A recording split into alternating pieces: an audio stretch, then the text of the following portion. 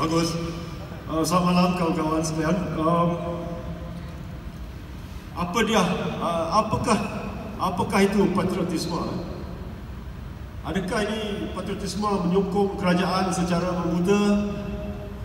Ataupun mungkin di Malaysia ni patriotisme adalah kita membeli number plate patriotisme. Ya, kita belanja beribu-ribu ringgit beli satu number plate yang kata patriot. Ha, maksudnya kita patriot lah tu. Cakap tu senang. Ramai orang kata dia dia adalah seorang patriot. Me myself, I don't really care much about labels. All I care about is that we do the best for our country. Oh my goodness, it's me. no wonder you guys are looking there. Alright, so pertama sekali, sekarang ni kita berada dalam musim pengundi. Ya? The general elections are coming up. Masanya sudah tiba untuk kita memilih pemimpin baru. Then why is this important? Ya? Why? Apakah kepentingan? Apa, kenapakah ia sangat penting ya, bahawa kita pergi mengundi? Pertama sekali, ia adalah hak asasi kita, hak asasi manusia. Tetapi pada pendapat saya, apa yang paling penting dengan proses mengundi ini adalah ia adalah satu-satunya di mana secara untuk kita menunjuk bahawa kita ini bukanlah hamba abdi. Kalau kita tak boleh memilih pemimpin kita sendiri, ini maksudnya kita hamba abdi. Jadi ia sangat penting bahawa kita memilih ketua-ketua kita dan pemimpin kita. Sebab ini bermaksud bahawa kita boleh memilih cara negara kita memaju ke hadapan. By the power of elections is effectively giving the power to the people to determine our future and to determine how our country moves forward. And in this way, it means it gives us the power to determine our own future and how we want to move forward. In other words, it's about dignity. Elections is more than just about electing leaders. Elections is about our individual human dignity. That's why it's important. But for this process to be meaningful, untuk ia bermakna, perkara paling basic, the most fundamental thing is that each vote must have the same value. Mandarin which is happening what is happening here, what they are doing is effectively they are taking away our right to change our government peacefully. And if you take away that right from us, what you're doing is you are putting this country at risk. Because why should we go onto the streets if we know we can change the government peacefully if the vote is fair? It's only when the vote is not fair that people get really angry and might do something silly. So what the EC is doing is actually very unpatriotic because they are laying the foundations to how, how to destroy a nation. Dengar cerita? 30% pun, 35% pun, kalau BN dapat 35% pun dah cukup untuk menang. That means you may form the government even though 65% of the people don't want you. Mana keadilan? Where's the fairness in that? And this is what makes me angry. When you mess around with our democratic system, you're not just messing around with a system of election. You are messing around with our human dignity and you are threatening the peace of the nation.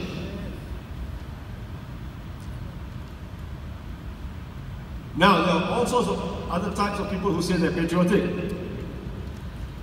Ada yang kata mereka nak mem mempertahankan negara daripada ancaman. Jadi mereka ni patriotik lah. Dan cara mereka nak buat ni dengan dengan buat undang-undang baru.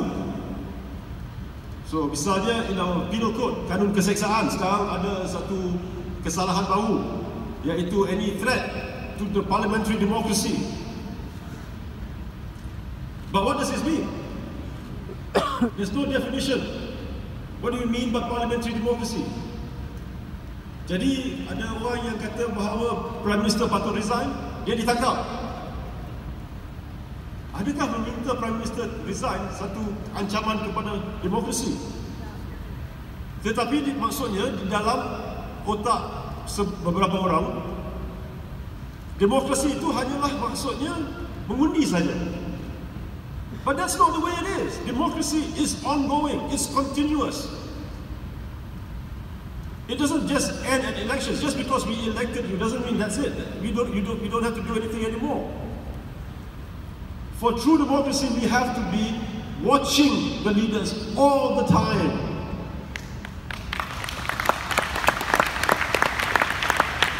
And they must be accountable all the time, not just every five years.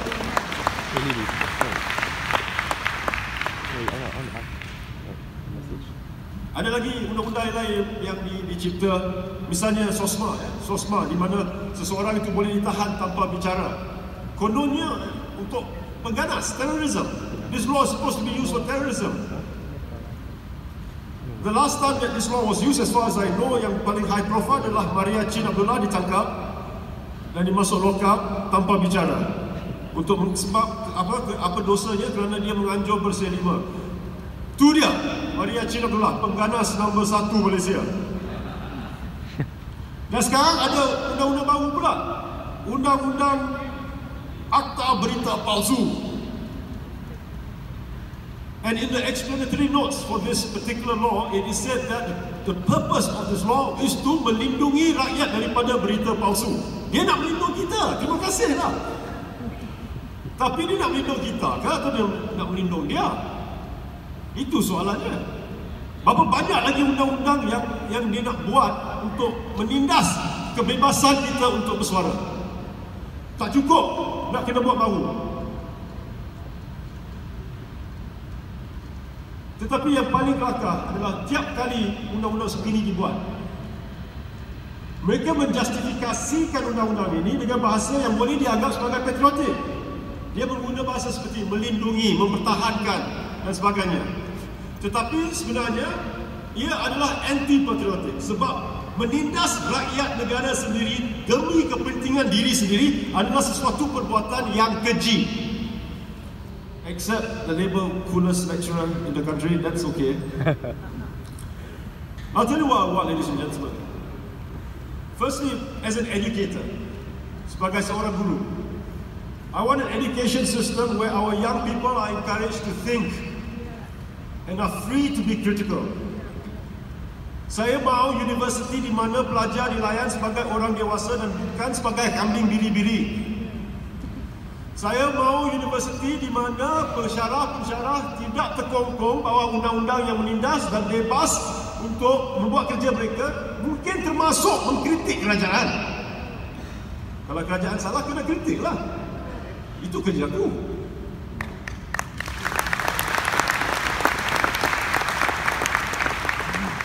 Saya inginkan sebuah negara yang mementingkan semua rakyat tak kira warna kulit atau agama.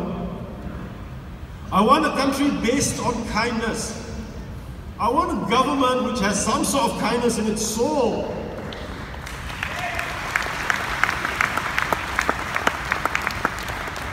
Is it too much to ask for a country where all children are given an education? All children.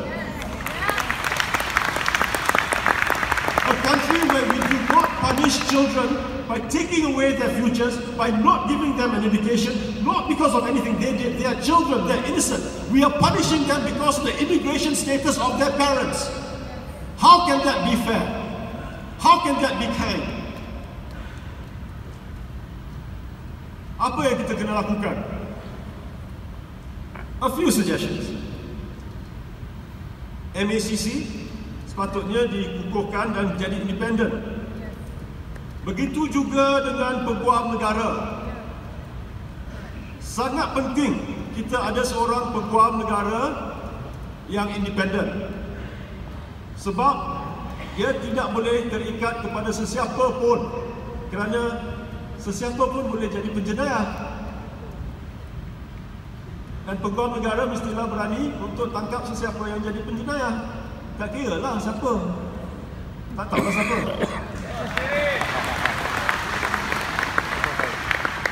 Kita perlu satu sistem untuk memilih hakim yang tidak terlalu bergantung kepada Perdana Menteri.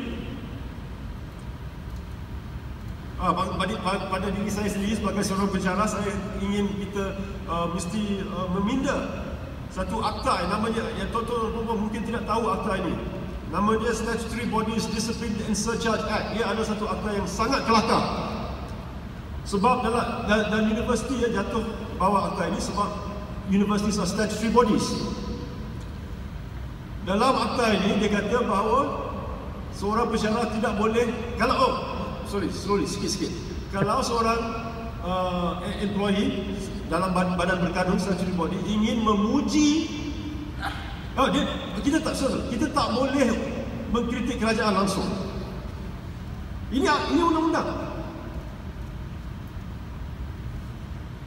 Dan kalau kita nak memuji kerajaan, kita kena minta kebenaran dulu. Tak pernah ada undang-undang di mana kalau kita nak ampu bodek, kita kena minta kebenaran dulu.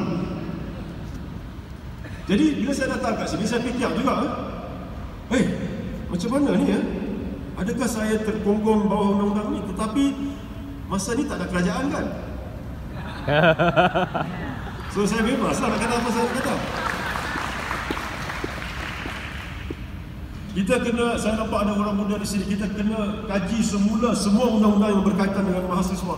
Bukan sahaja AUKU yang sangat famous, tetapi juga peraturan-peraturan universiti yang merampas kebebasan mereka dan mengkongkong pemikiran mereka. Macam mana kita nak ada masa depan jikalau anak-anak kita yang muda, yang pandai, semua dijadikan seperti kambing biri-biri? Semua masalah yang kita ada sekarang pada pendapat saya adalah disebabkan oleh undang-undang dan sistem yang dibentuk untuk melindungi dan mempertahankan kuasa segelintir kecil. Our system is designed to maintain power for the very few. They take away our rights on the grounds that human rights is a Western invention.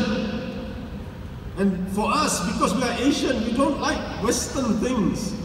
We don't believe in human rights as Asians. We are more community based. Ini semua. They take away our rights so they can stay in power. That's all. And in the meantime, because we don't have a free press, we don't have an independent Aegis chambers, we see corruption on a biblical scale and it doesn't go punished. Our future is laid waste by the greed of the few. And we, the people of Malaysia, we need to reclaim the power that is ours. We need to create a system of governance that is truly democratic, where the people hold our destiny in our own hands. This is not because we are greedy, this is because it is our right. Thank you very much.